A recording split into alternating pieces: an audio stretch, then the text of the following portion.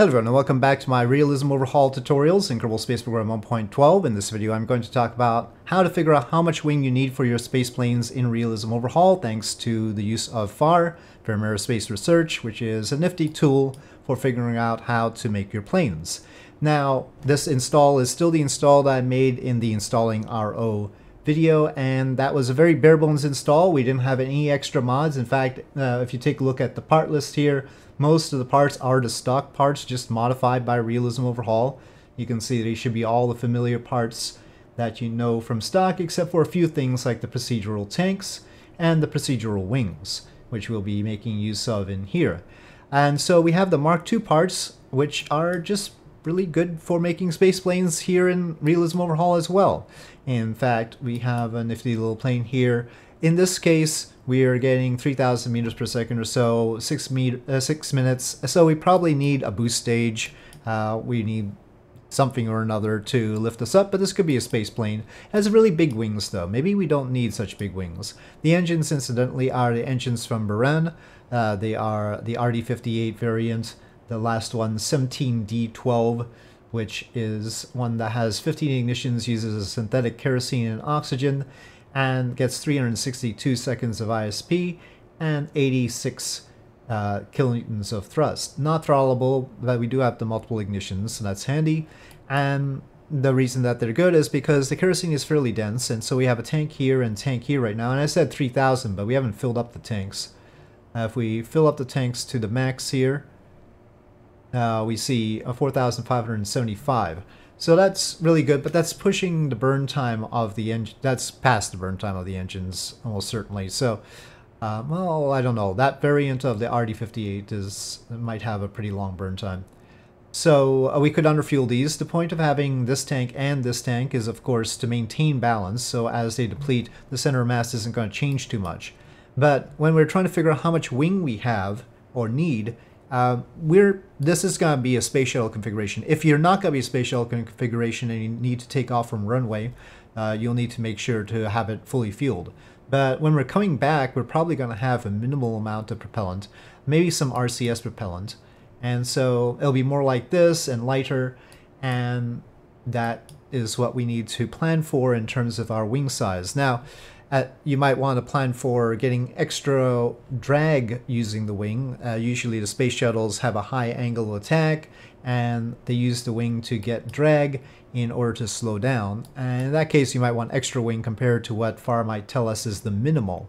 Uh, but let's take a look at FAR and try to explain uh, what's going on with that. But you can see as we go from full fuel here to empty, so this uh, full fuel, it's really close. Maybe I should move the wing a little bit further back.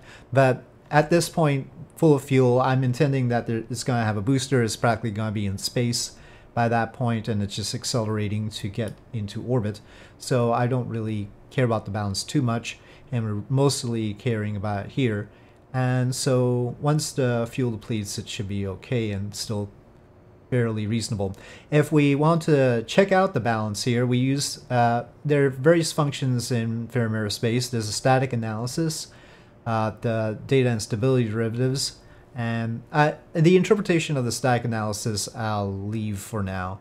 I think the data and stability derivatives, especially with their clear coloration, will give us the best read on things. And we're going to start out at zero kilometers in zero Mach number, well, not zero Mach number, let's say a reasonable takeoff speed.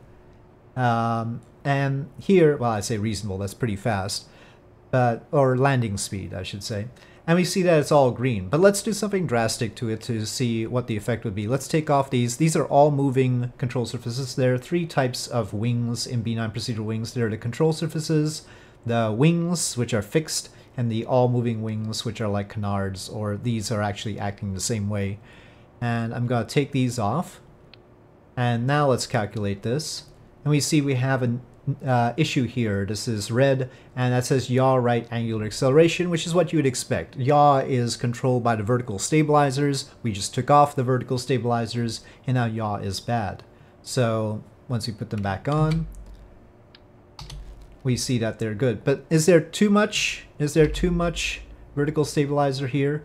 We press J to resize these wing pieces. And let's say I make it really small. Let's say like that. That looks unreasonably small, right? When I calculate, yeah, it goes back to being negative. Okay, and so we want it a little bit bigger, but maybe we had it too big there. Maybe it could be like that. And you can see it's closer to being zero, but it's not quite zero. Now it's okay, but is it good for different flight regimes? Like right now, we're talking about right at the surface when we're about to land. Let's say we are at Mach 2. We're probably not going to be Mach 2 at zero kilometers, and it in fact would have a little bit of a problem with that. So, but in any case, we're not planning on doing that. So, uh, 10 kilometers, 10 kilometers is fine. 20 kilometers, 20 kilometers is fine. Um, if we say 30 kilometers, that too is actually okay. But probably we'd be stalling a little bit. Well, you can see this is the angle of attack that we need in order to continue creating lift. This is the speed that it thinks Mach 2 is at this height. So Mach 2, according to it, is 605 meters per second at that height. But then we would need to have an angle of attack, that is the angle above the prograde vector, uh, of 15.8 degrees, let's say, in order to keep going up. Now, in reentry with a spaceplane, we don't necessarily need to keep going up. So that's not critical. As long as we're stable, we're okay. But we are uh, threatening a stall potentially if uh, we actually try to fly this at that height and this speed. Uh, at Mach 3, it's much nicer, only 12, and then Mach 4. So this is a very nice plane as far as stability is concerned. As it gets really high up, the air gets really thin, and the predictability of the of the numbers might be a little bit of an issue. Here we don't have, just barely don't have enough vertical stabilizer, but maybe if we go Mach 5 at that speed, at that height, Mm. well no, going faster is not so good, so the faster you go, the more vertical stabilizer you need. So we can sort of create a flight profile here of how fast or slow we should be going at different heights. It seems like this is a bit problematic as both that and that uh, get an issue at the same time. Well, three, we probably need to be under three, Mach 3. Unless we want to increase the size of the vertical stabilizers. So, uh, other things that you can check out here, except for this one with the vertical stabilizer, is of course if we have the center of lift in front of the center of mass, let's say we move the wing up like that, and what you'll expect is uh, to have this one in particular messed up. And that'll indicate, oh, we need to make sure that the center of mass is, uh, center of lift is behind the center of mass. And then once you do that, uh, this is getting closer to zero. And then this is happy. Uh, this is a problem because actually we would like the vertical stabilizers to be further back.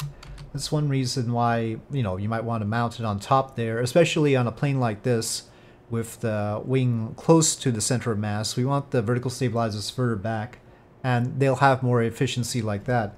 So we can actually make them smaller if they're further back or we could just put them on the body, make them fixed instead of all moving would be probably good. Uh, having them be all moving was an expedience in this case as I was slapping this together, but really it would be nicer not to have them all moving just for control purposes. It's a little bit finicky. So let's let's just do something unreasonable and move them really far back. Oh, but then this is a problem. But can I make this work?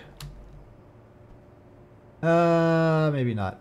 but the center of lift is actually a little bit tenuous there. Okay, there we go.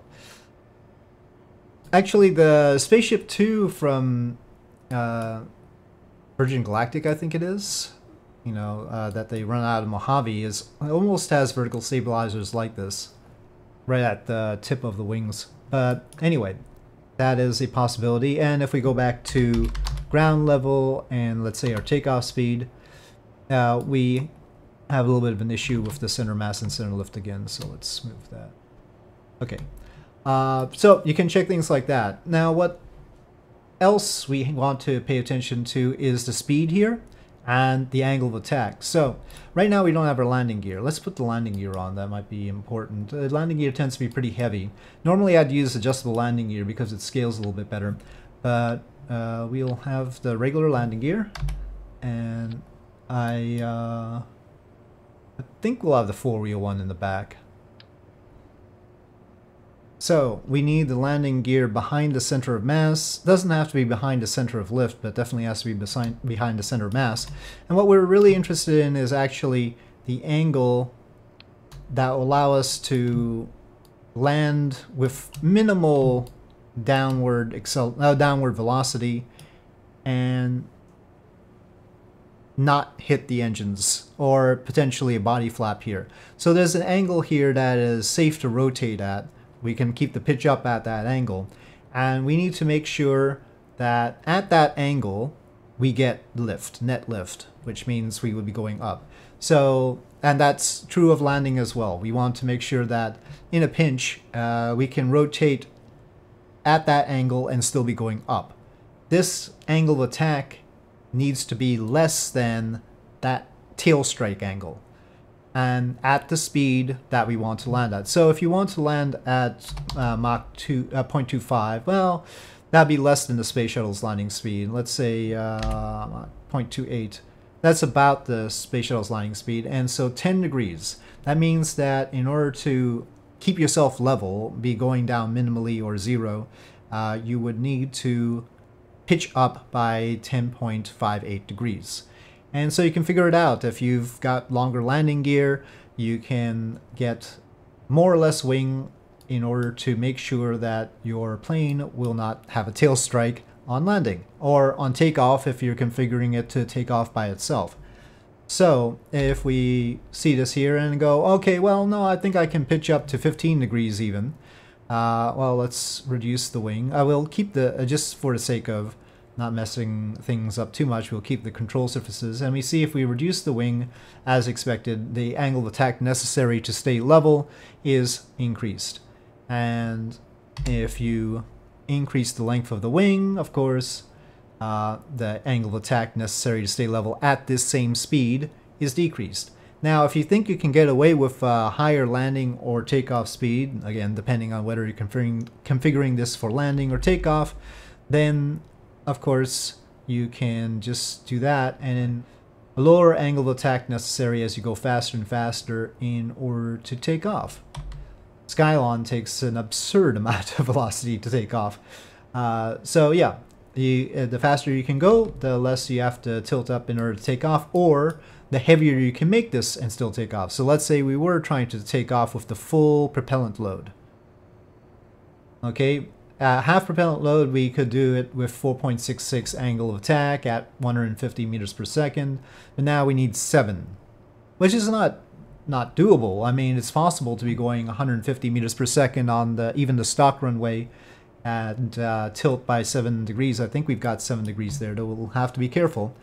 Uh, maybe a longer landing legs would be better, or just pulling them down a bit. So in a pinch, you could just sort of pull them down a bit, and then suddenly you've got extra angle to work with. But that's how you figure out how much wing you need. So if you can get away with uh, even less, how, how little can we get? Is there a point where we would be not happy? Well, Interestingly, it doesn't seem that way. So, shall we try that out? this this seems ridiculous, right? Right? But uh, well, maybe we should check this. Yeah, I feel like checking this. Now, actually, the engines, the RD58s, I don't think get much thrust at sea level. Um, so that might be a problem. 0.14, so we're probably not getting anywhere, actually. This stock, this uh, barrel bones install doesn't even have atmospheric autopilot.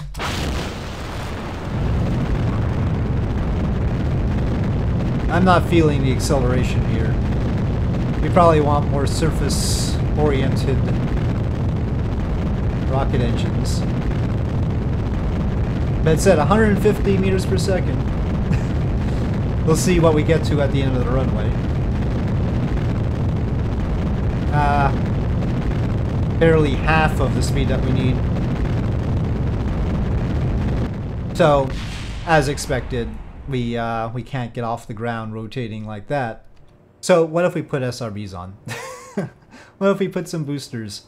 can we get to, uh, we could put bigger engines. Hey, let's, well, it throw the balance off to put really big engines. So instead of trying to put the big engines, we'll put SRBs right at the center of mass, slung underneath. Castor ones. I don't know if they'll torch the thing. We're now heavier though.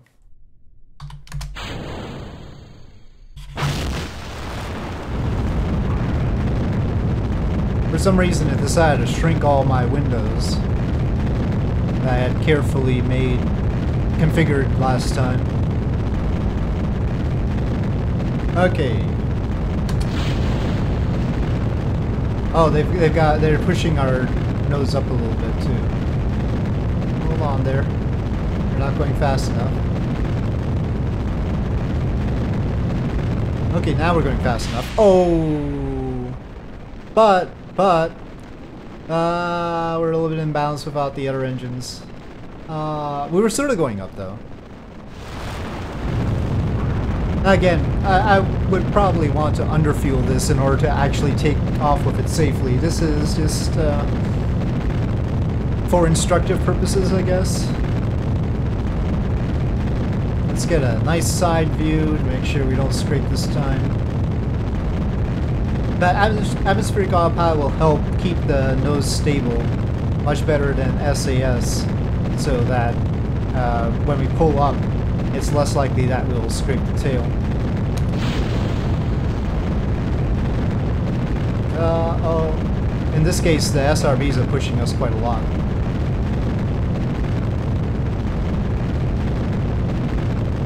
I guess we'll just keep it like that since it's sort of It'll definitely show us when we start going up, huh? Oh, we can go up. So about 150. We've got extra mass, so it's a little bit higher than 150. But you get the picture. Even this ridiculous wing can work out for you. If you take a look at the numbers that FAR gives you, and it'll tell you what angle you need to be at in order to take off at what speed. It's as simple as that. But that doesn't mean this whole thing is really stable at turning right now. Uh, yeah, this is not, uh, not, not a great plane at the moment. So, the quantity of the ship mass divided by the wing area is called the wing loading. And so you can get the wing loading. You have the ship mass there and to the vessel mass, and then we can get the wing area like that. Uh, I think that's probably right, hopefully. Uh, sometimes I'm suspicious of that number, but yeah. That is called the wing loading. It's also related to another quantity called the ballistic coefficient, which is the amount of mass on the heat shielded area or the area hitting the atmosphere on reentry. So that's called the ballistic coefficient. In the case of the ballistic coefficient on reentry, uh, the mass divided by the surface area is telling you how much drag deceleration you're going to get. In this case, it's telling you about how much lift you're going to get, and uh, lift and drag are sort of related, but the high, the lower the wing loading, the lower the velocity you need in order to maintain level flight. So you want less mass on the same wing area, and you can compare different planes based on their wing loading just take their mass divided by the wing area and you can see, sort of make a guess as to the velocity that they need in order to maintain level flight, though of course the actual shape of the body also has an effect on that. But I think that's all I'm gonna say about that aspect of FAR. There's one other aspect of FAR that I'll talk about, and that's the transonic design, and that's if you need your plane to get past the speed of sound. Uh, this is a very particular thing. If it's accelerating itself past the speed of sound, then you use this cross-sectional area curve, and you want that to be as smooth as possible. Um, there's the cross sections of the plane, and so one way to make it smoother, for instance, might be to increase the wing root here. You'll note that that's starting to smooth line out, and we'd pull the uh, control surfaces back, and um, you know maybe something like that. But of course, that has other effects. And you know, you'll see occasionally planes having little bulbous, bulbous things jutting out in order to smooth this line, and some of the design is driven by that. So that reduces the amount of uh, drag induced while going transonic. And I'll, that's all I'm going to explain about that. So you can look at that and try and optimize that so that your planes can accelerate through the speed of sound smoothly. But of course, for a space shuttle that's coming back down, you don't need to do that. Yeah, you, you actually want it to get more drag and slow down faster, uh, generally speaking. Whether you need to worry about this too much is uh, up to you. I mean, it depends on what other uses you put your space plane to.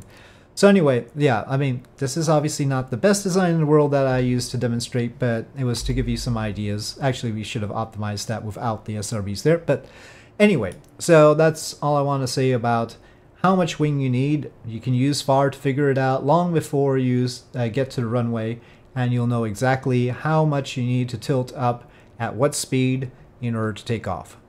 So with that, thank you for watching. I hope you enjoyed this video. If you did, please do press like. If you have any comments or suggestions, please leave them in the comment section below, and I'll see you next time.